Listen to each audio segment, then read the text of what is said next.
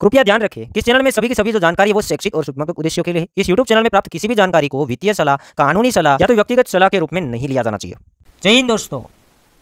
आज के दिन अगेन, क्रिप्टो मार्केट के अंदर अर्ट कोइन के अंदर आठ परसेंट से लेकर पंद्रह परसेंट तक अगेन गिरावट हमें देखने को मिल रही है। बड़े से बड़े अल्ट कोइन के अंदर, एक ही दिन के अंदर 10 से 15 15 परसेंट तक गिरावट आई है। लाइक यहाँ पे थीटा की बात करेंगे, पॉलीगॉन मैटिक की बात करेंगे जुपिटर की बात करेंगे ऑप्टिमिज्म की बात करेंगे आर्बिट्रम की बात करेंगे डब्ल्यू कोइन की बात करेंगे अंडो की बात करेंगे नियो की बात करेंगे फ्लोकी की बात करेंगे सीबा की बात करेंगे एक्सेट्रा जितने भी बड़े बड़े क्रिप्टो करेंसी थे एक बार अगेन 10-15 परसेंट तक करेक्शन लिए हैं। अब ये चीज़ें देखने के बाद कुछ लोग अब बोलना स्टार्ट किए हैं कि अल्ट कोइन आगे नहीं बचने वाले हैं। सारे के सारे अल्ट कोइन जल्दी खत्म हो जाएँगे। बिटकॉइन के अलावा कोई नहीं बचेगा। बट यहाँ पर मैं आपको रिप्लाई देना चाहूँगा कि मैं ऐसी बातें नहीं करूँगा कि 2030 के अंदर ये अल्ट कोइन होगा 2035 के अंदर अल्ट कोइन ये होगा।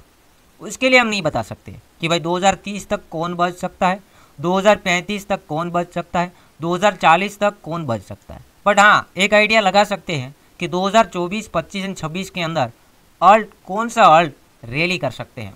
उसके अंदर हम बात करेंगे तो पुराने जो अल्ट कॉइन है अच्छे से काम कर रहे थे और आज के दिन भी काम कर रहे हैं। वो और नए जो प्रोजेक्ट्स बड़े बड़े फंडिंग के साथ आए हैं बड़े बड़े वी का बैकअप है, वो वाले प्रोजेक्ट्स इस बार की रैली के अंदर अच्छा खासा रैली करेंगे। इस बार के बुल रन के अंदर अच्छी खासी रैली करेंगे, जो कि अभी ये सभी चीज़ें जो फंड है कि भाई ख़त्म हो जाएँगे। ऐसा फंड इसलिए क्रिएट किया जाता है ताकि रिटेल इन्वेस्टर सस्ते दाम में ना खरीदे।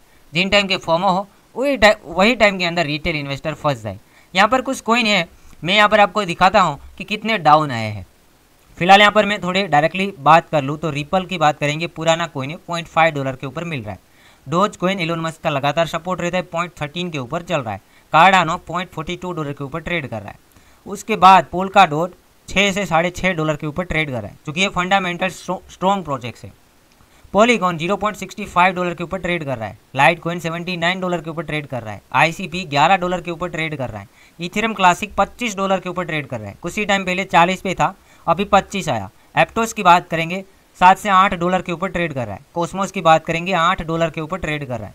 फ़ाइल कोइन पाँच, साढ़े पाँच डॉलर के ऊपर ट्रेड कर रहा है। Stellar zero point ten dollar के ऊपर ट्रेड कर रहा है। उसके बाद ऑप्टिमिज्म 2.44 डॉलर के ऊपर ट्रेड कर रहा है। आर्बिट्रम 0.96 डॉलर के ऊपर ट्रेड कर रहा है। वी चेन 0.032 डॉलर के ऊपर ट्रेड कर रहा है।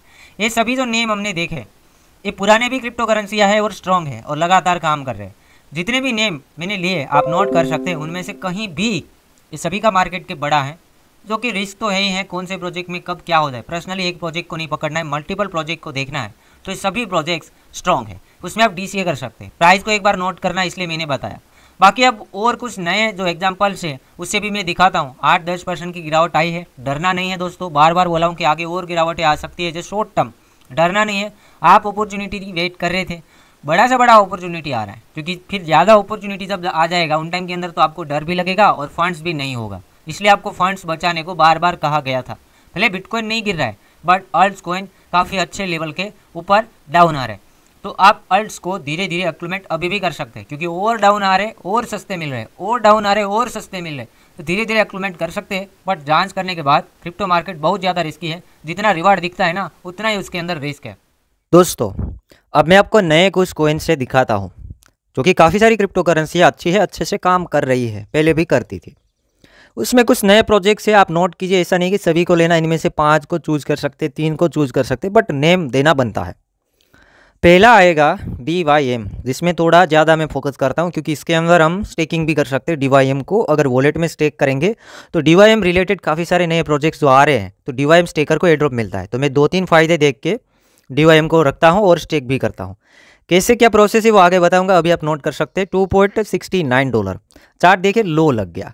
आते ही आठ नौ डॉलर के आसपास गया था, यही डी वाई एम बाइनेंस के अंदर लिस्ट हुआ था, अभी चल रहा है two point sixty five dollar part में करना है। मतलब अब तो अच्छा पार्ट भी दे सकते हैं काफ़ी डाउन आ गया। लोग नो में खरीद सकते थे तो इसमें अब डर रहे हैं। नेक्स्ट जो आएगा सोलाना बेस्ड है, वो भी स्टेकिंग वाला है और दो तीन फ़ायदे हैं। Pyth zero point forty one dollar के ऊपर ट्रेड कर रहा है। सोलाना इकोसिस्टम के अंदर ओरकल का बेस्ट प्रोजेक्ट माना जाता है। जिस तरीके से इथेरियम के अंदर ओरकल का बेस्ट प्रोजेक्ट चेनलिंग को माना जाता है, उसी तरीके से सोलाना के अंदर पाइथ को हम ले सकते हैं।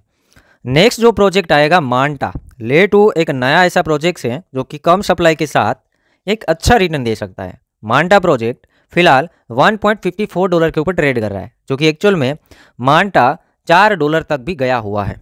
मांटा के बेकर्स बड़े हैं बड़े बड़े वीसीज का इसके अंदर इन्वेस्टमेंट है, इसलिए हम ऐसे प्रोजेक्ट्स को लेते हैं। नेक्स्ट आएगा गेमिंग का, जो कि मैं एक ही प्रोजेक्ट्स के ऊपर फोकस करवाऊँगा। पुराने एक को आप जानते हैं एक्जी इन्फिनिटी एंड गाला उसमें भी देख सकते हैं, वो भी रिकवरी कर सकते हैं। बट नए प्रोजेक्ट्स इस बार कौन से हो सकते हैं? उसमें आएगा पिक्सल 0.34 डॉलर के ऊपर ट्रेड कर रहा है, जो कि एक नया लो लग चुका है। ऐसे एक डॉलर के ऊपर भी ट्रेड करता था। आने के बाद फोमो में एक डॉलर गया था बट अगेन एक डिप लग गया। अगेन रिलीज़ स्टार्ट होगा तो अगेन वो रिकवरी करेगा। उस तरीके से नेक्स्ट जो प्रोजेक्ट्स हम देखने वाले हैं, वो एक मीम कोइन है, एक नया मीम कोइन है स्लफ जो कि काफ़ी बार इस बार मैंने ज़िक्र किया है कि भाई रिस्की तो हैं बट कुछ बड़े लोग हैं तो कुछ हो। ये गेमलिंग करने के लिए लेना है और अपने पोर्टफोलियो का आधा परसेंट भी हिस्सा स्लफ को नहीं देना है। But compare to other meme coin इसमें कुछ ज़्यादा हो सकता है। Zero point twenty six dollar के ऊपर ट्रेड कर रहा है। बस कुछ एग्जाम्पल्स मैंने आपको दिए, बाकी आप लोग यहाँ पे जो प्रोजेक्ट्स हैं, आपके लिस्ट के अंदर है, अच्छे प्रोजेक्ट्स उसके अंदर भी डीसीए कर सकते हैं अल्स एक बार के लिए तो रैली करेंगे। लॉन्ग टर्म में क्या हो, कैसे रेगुलेशन आए, उसके बारे में पता नहीं। बट 2024 एंड 25 के अंदर यहाँ पर हम एक बार के लिए रैली की उम्मीदें लगा सकते हैं।